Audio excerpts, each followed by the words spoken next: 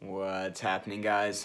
Uh, Kenny here again, and today I've got another um, HRC testing video for you guys. Um, uh, so just to preface this, this is going to be a lot of knives in this video, um, more than I usually focus on in one video. Usually it's between two and four knives um, in, in each one of these videos, but today because I'm a little backed up. I wanted to get pretty much two batches in one video.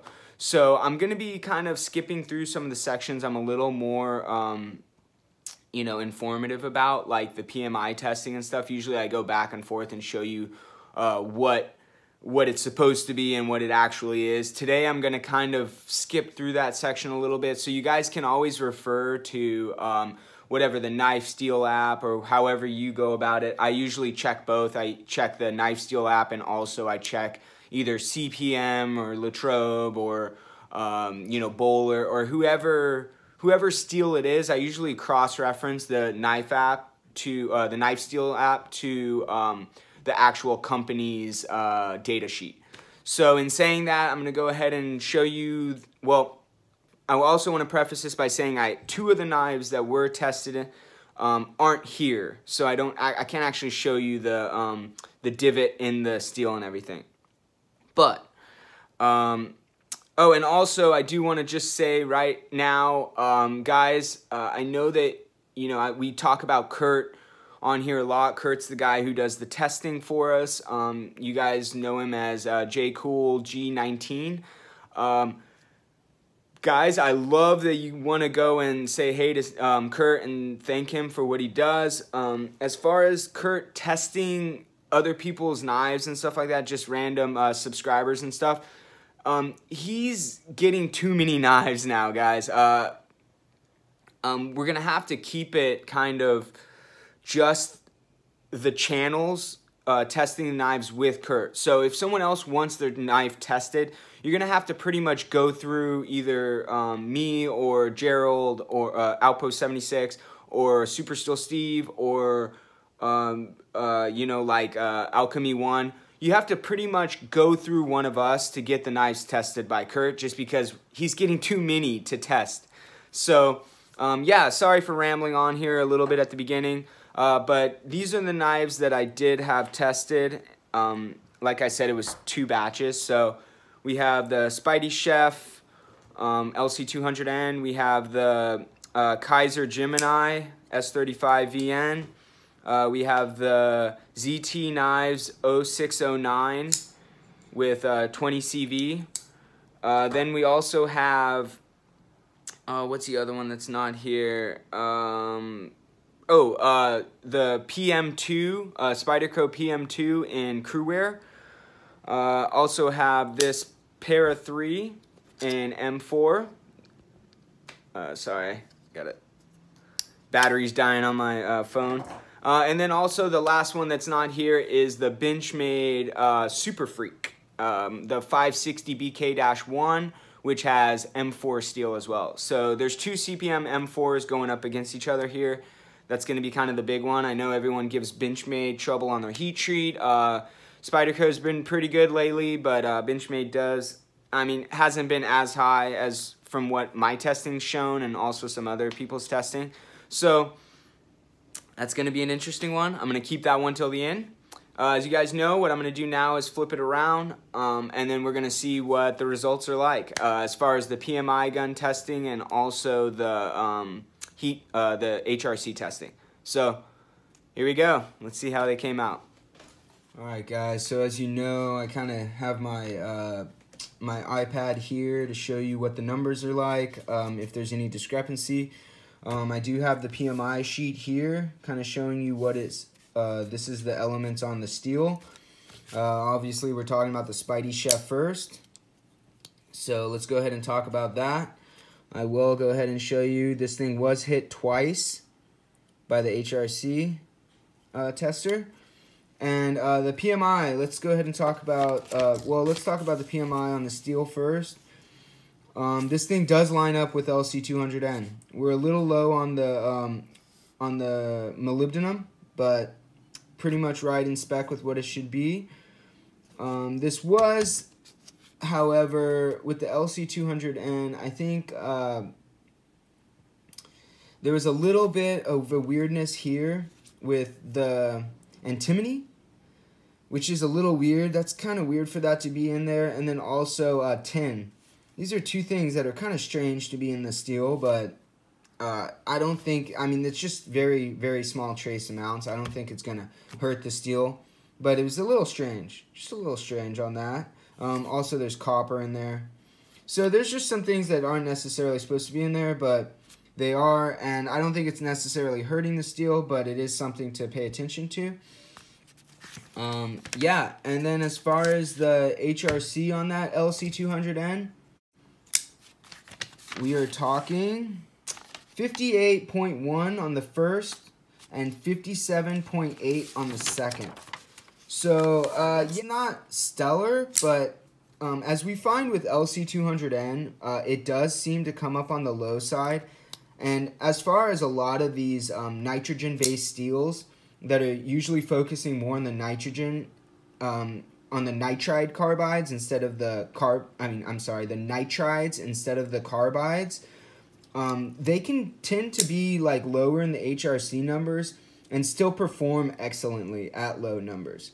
So even though this would be ideal at like maybe uh, 59 to 61, uh, it, it really does work even in that 56 to 58 range. It still is pretty good uh, as far as performance goes. But obviously, we want to try and utilize performance. So it'd be nice to see this up in the 59 to 60 range. But at 58, um, right around 58, it still performs excellently. And I can't say much bad about this example of LC200N. It takes a really fine edge and it also um, holds it really well.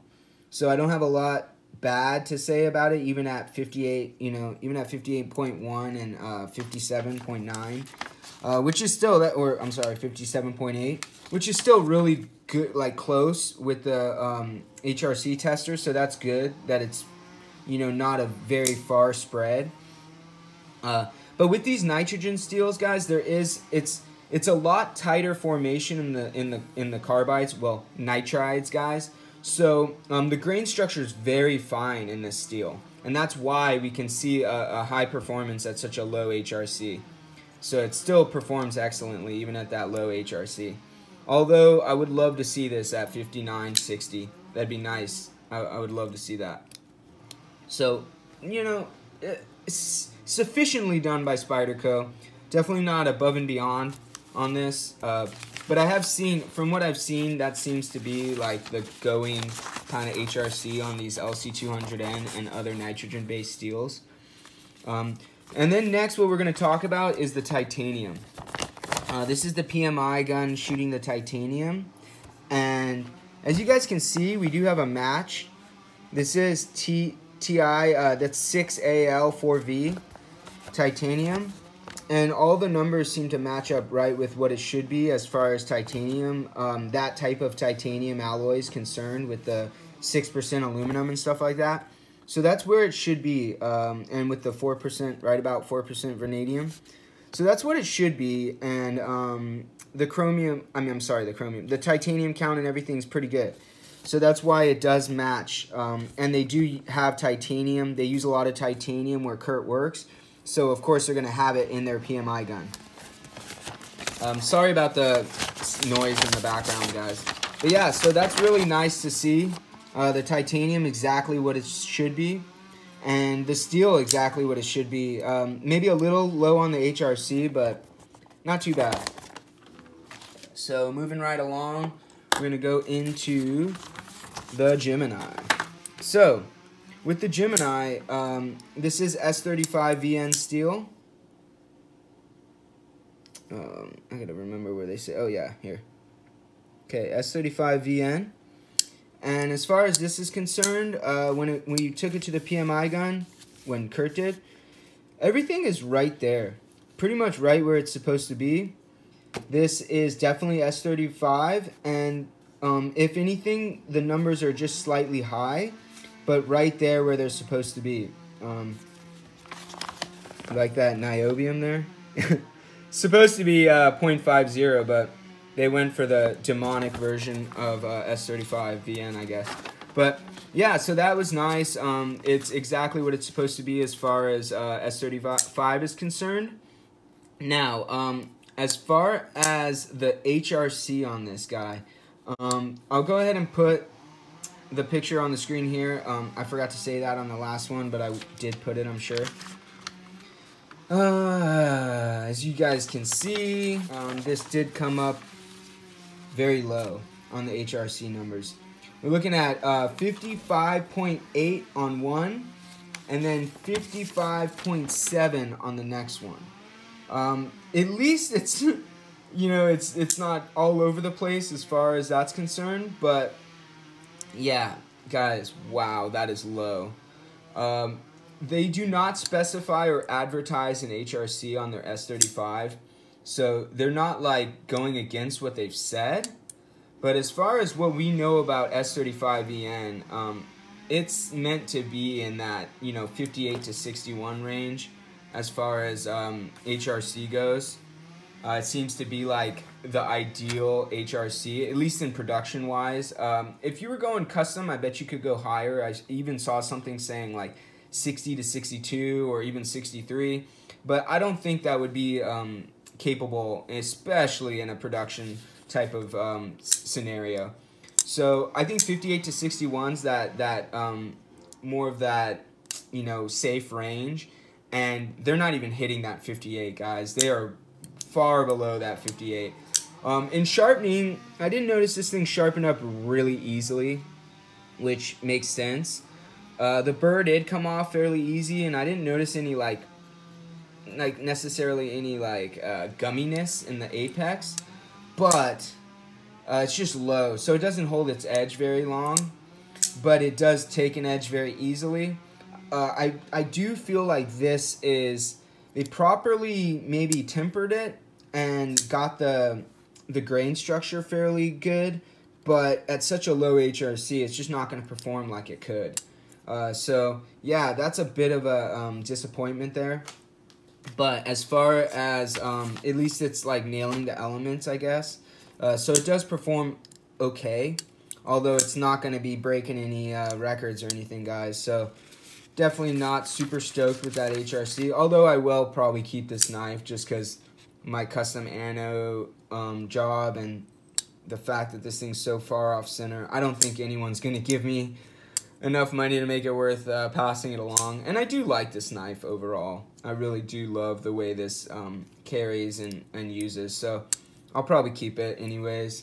If anyone's super interested in it because they love the ano job or something, let me know. But I'll probably keep it.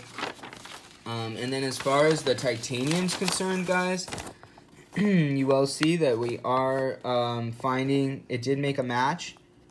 So that's nice to see. Uh, it was a little low in the aluminum count and a little high in the titanium count. But, you know, that, that little variance there, it, it's pretty good. It's fine. And it still made a match, so looks good. Uh, that's nice to see. So definitely using the right titanium in this handle. Um, yeah, so that's pretty much it on the Kizer. Like I said, guys, I'm moving a little faster today because I have six knives to go through.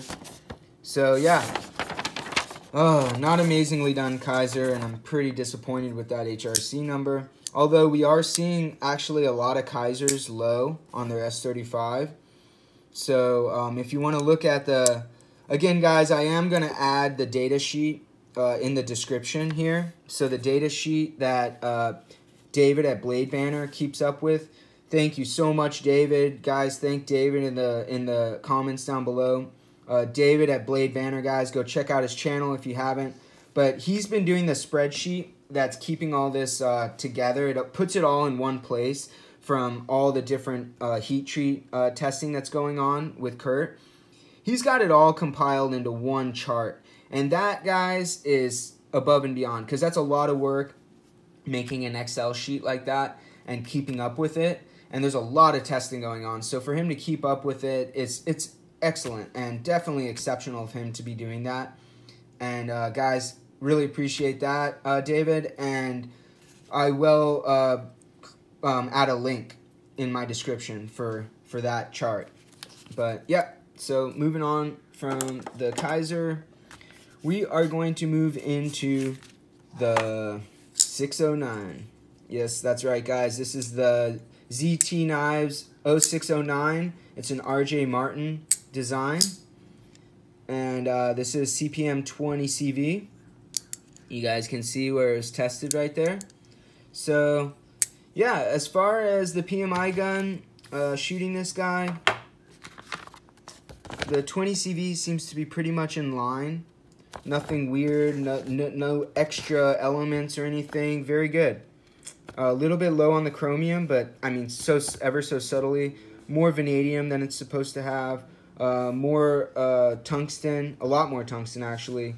Um, niobium, which shouldn't really be in there. So yeah, really solid as far as CPM uh, 20 CV goes. Uh, this is done by Latrobe, guys, not Crucible, from what I understand. So Latrobe is the one that's executing this 20 CV. Although I think CPM originally came up with the recipe. Not sure on that though, guys. You can always correct me if I'm wrong. If you know something I don't. So as far as that's concerned, we are definitely 20 CV. And as far as the number on that HRC goes, I will go ahead and uh, show the gun, I mean, I'm sorry, show the HRC tester indenting it. And you will see that this came up at 58.4 on the HRC.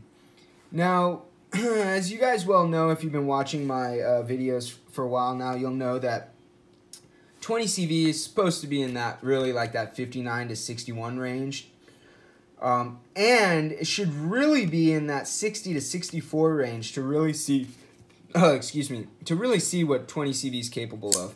Uh, when you really get it up into that high range is when you're going to see the big difference between 20 CV and something like S30 or S35 or uh, Elmax or something like that. This is going to really come to life when it gets up into those higher HRC numbers. So seeing it at 58.4 is not stellar. I'm not like super stoked on seeing that.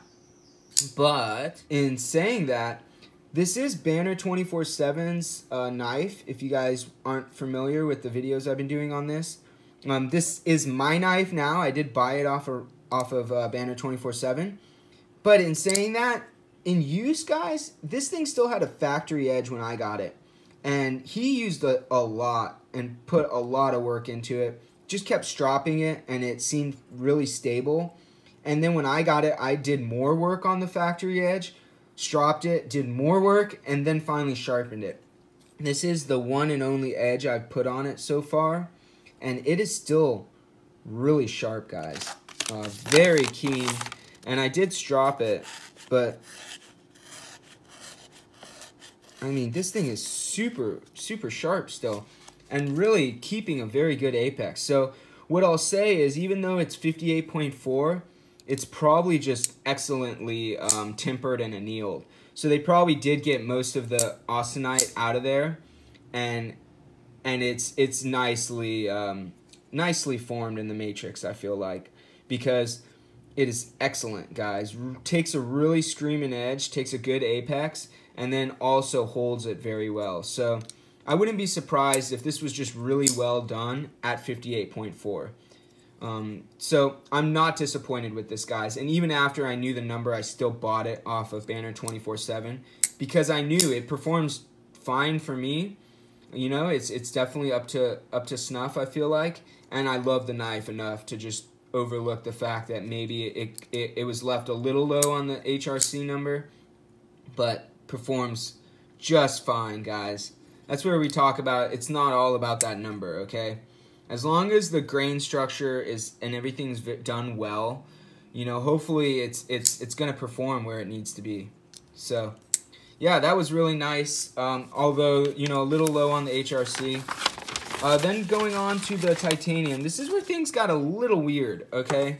Um, it came up with a match for TI3AL um, 25SN which is a different type of titanium um, than the S. I mean, I'm sorry, than the 6AL4V. Uh, what this titanium's it, it's it's it's pretty much used in the aerospace and stuff like that. So it's still good type. It's still a really good product. Um, it's more steel-like than 6 uh, AL4V. And it has more properties closer to steel. And it's, uh, it like, for instance, guys, let me show you really quick. Just a few comparisons here. So, like, you'll see here, oops, sorry. Not comparing it to LC200N, obviously. Um, so what you'll see here is we've got, uh, so aluminum 6.8. This has zero aluminum.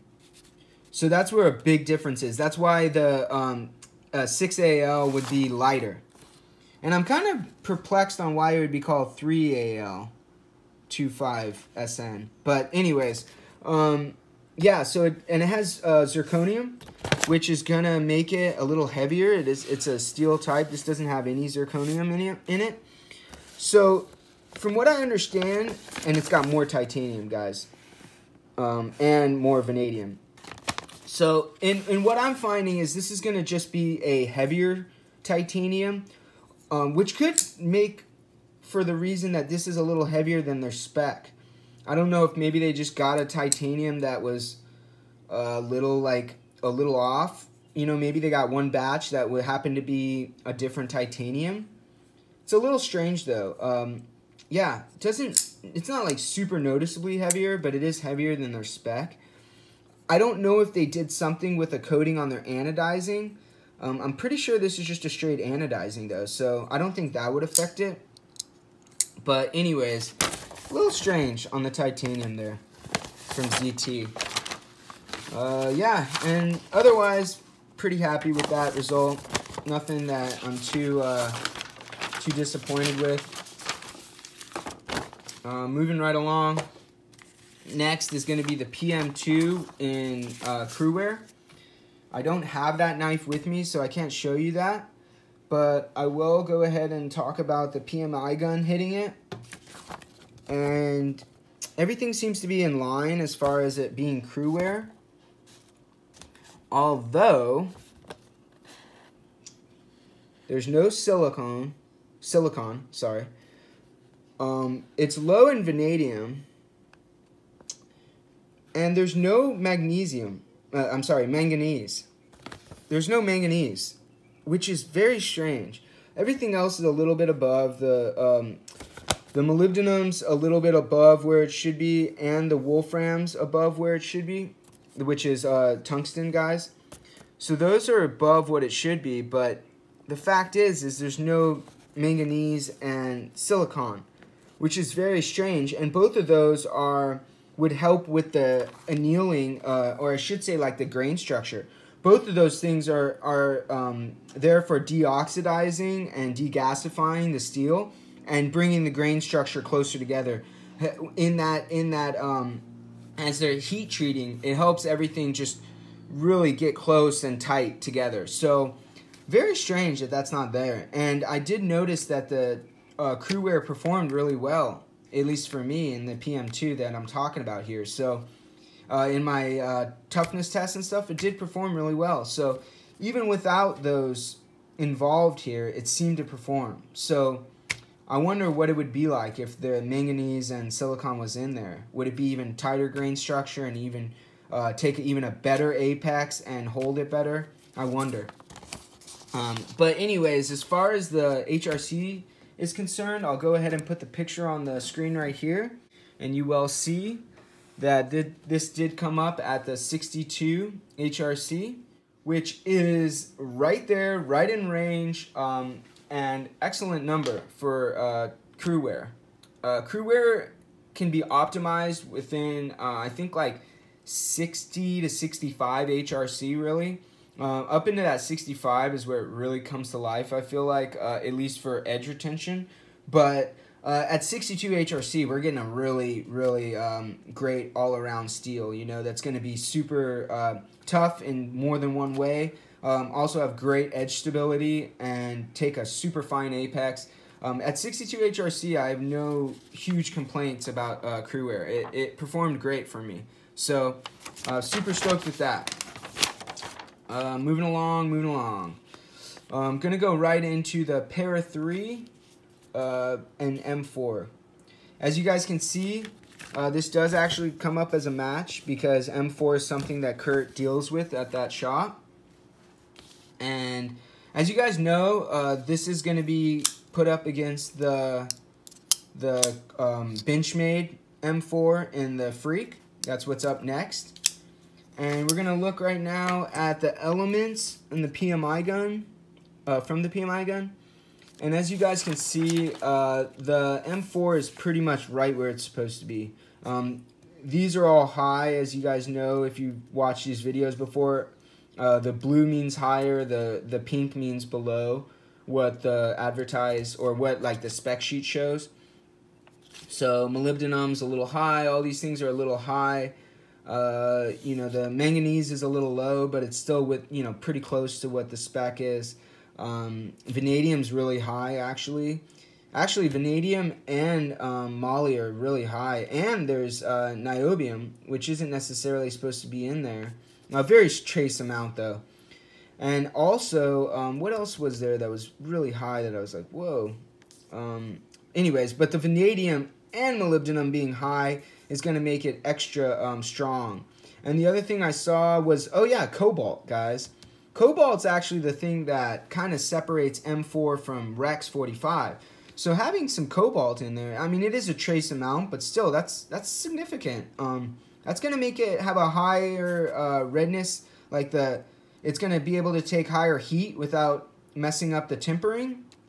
Um, also, it would be um, a bit tougher. Cobalt helps bring all the, um, it helps kind of magnify some of the other elements. So yeah, that's really nice to see, guys. But it does have some, also it has some nickel and copper in there, which, which are kind of for the um, degasifying and stuff like that. It helps with uh, some of the, helping the grain structure and just helping bring everything down. Uh, that's also what moly does. For those of you guys that don't know, moly also helps with the grain structure. It helps get everything smaller and tighter, which is going to help with the toughness and everything. So yeah, really good to see as far as the M4 is concerned. And then as far as the HRC number, I'll go ahead and put that up uh, right now. And as you guys can see, that's a really nice number, guys. You're looking at uh, 63 HRC. That's really good to see. Um, that's pretty much where it wants to be. I mean, M4 can go all the way from 58 to 65. You know, 65 being more of its like edge retention and uh, edge stability type of thing, whereas um, down in the 58, it has more a little bit more ductility maybe, a little bit more toughness in that manner to like impact and stuff like that. But still, I think even at 63, it's going to be performing excellently in every every facet. So that's really cool to see. I'll go ahead and move along into the uh, Benchmade Freak because that's right where we want to see. And super stoked on that. Uh, as far as the Freak is concerned, um, I don't have that knife here. Uh, that knife is with Blue Collar Survival right now. Uh, thanks a lot. Big shout out to him for um, shouting me out and congrats for 1,500 uh, subscribers, dude. Really stoked for you and thank you so much for the shout out. Uh, as far as uh, the Super Freak was concerned, obviously this is M4 steel done by Benchmade. Uh, the numbers are all right there, guys. Everything seems to be right on target. Uh, there were a few things like zirconium that probably shouldn't be there and niobium, but this does have a coating on it, so I think the zirconium's coming from the coating. I also think that's why some of these things are low, because the coating's going to block some of the PMI gun. Uh, so yeah, so the coating definitely affects the PMI reading. Although, guys, um, I know that there have been some comments about this, and in other places, not my channel, there's been people talking, you know, saying that the coating's going to mess up the HRC number.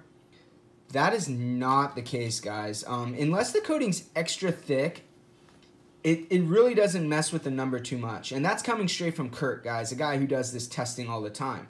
And I actually do, uh, if you go on Instagram, or if you guys are not on Instagram, there was a test that Kurt did where, maybe I'll show it right here, where he does the coating, he tests the knife with the coating on, then he scratches off the coating, then he tests the knife again without the coating, and you're to see that it's the same HRC number, guys. There was no variance from with the coating to without the coating. And you can see with the calipers that it actually took off, I think, like, I think a millimeter of thickness on the blade. I, I can't remember specifically, but when I show the pictures, you'll see exactly what it is. But it took a significant amount of thickness off the blade, so that was a fairly thick coating. It still had no effect on the HRC testing uh, changing numbers. So, and that also is a testament to the, the the machine that Kurt's using, and with it being like, you know, really awesomely calibrated and coming up within, I mean, not even within 0.5 of, of what the reading was before it. So, excellent, excellent stuff to see. As far as that M4 is concerned, it is definitely on target, and it's definitely M4, especially even with the match on the PMI gun. And then I'll show you the reading on the HRC testing machine, the Wilson, and you guys will see that, oh my, 63, boys. Holy crap. When we're talking um, M4 versus M4, this came up right in spec, guys. Um, Benchmade does advertise what the spec should be on their M4, and it's 62 to 64. So they pretty much nailed it right in the middle at 63. And that is with the coating, so if there is any variance, it would probably come up higher without the coating. And yeah, 63 guys, that's excellent. Um, just really good to see M4 at a good HRC for what um, what the steel is capable of. And I have noticed that both of these, you know, both this knife and the Super Freek perform excellently for M4. And just couldn't be happier with the the reading on the uh, Para 3 and the Super Freek. So I know you guys were really looking forward to seeing that uh, that matchup between Spyderco and Benchmade on the M4. So yeah, really glad that they came up right in spec, right uh, where they needed to be, and really just comparable, like right where they where they should be, and both at the same HRCs. So really great to see, guys. Um, I will flip this around and just do a quick conclusion. All right. so in conclusion, I did get a lot there, guys. I know that was a lot jammed into kind of a tight, tight, um, you know, video there, um, even though it's still pretty long. So, uh, findings are all pretty much good, guys. I don't have anything I'm super uh, disappointed with this time. Uh, the the titanium was a little weird on that ZT. Uh, might be something I hit them up about and ask them, uh, but really not something I'm that worried about. Uh, in in use, it seems to be work really well. It does seem to take, you know, dings, or whatever you want to call it, nicks in the titanium, but I think any titanium would, and if anything, this would take less nicks because it doesn't have as uh, much aluminum, it has zero aluminum in it, so if anything, I feel like the um, the uh, 6AL4V would probably take more dings and be a little bit softer, but I'm not as familiar with the different um, titanium alloys. So I did try and read up a bit, but it's still, you know, unless you work with this stuff day to day, uh, the little idiosyncrasies between one alloy and another are a little harder to uh, judge with titanium, and they're not as uh, the sh data sheets aren't as clear and set in stone. So, saying that, um, I'm not super disappointed with that, um, and in use it seems just fine. Um, maybe a little heavier than the than the 6AL4V would be, so that's interesting. But saying that, uh, really appreciate you guys watching this. Um, I hope you guys enjoyed this. I hope it was informative. I hope that you know the the results were good for everyone. Um, I'm oh except for that Kizer guys. Yeah. Oh god. I did. I said nothing that's super disappointing. Yeah. This is pretty disappointing. Um, I'm probably not gonna hit up Kizer. Uh, I might actually just hit him up and say, hey, like, this thing's way out of spec. Well, at least out of spec for CPM. Uh, but it's pretty disappointing as far as that uh, HRC number goes. I, for, I almost forgot about that. But yeah, other than that, guys, everything's pretty much in spec, what it's supposed to be, and I'm, you know, glad about that. But thanks a lot for watching, guys. Thanks, big thanks to Kurt. Um, thank you for all you do. Um, everyone who wants their knives tested, hit me up or hit Steve up or hit one of us up to see if we can get it to Kurt. Otherwise, it's eh, he's just got too much going on to be like have a bunch of subs just sending him knives. So thanks a lot, guys. Appreciate everything. Big shout out to Kurt, J Cool G19, and Blade Banter. David, thanks a lot for everything you do. Thanks for watching, guys. Later.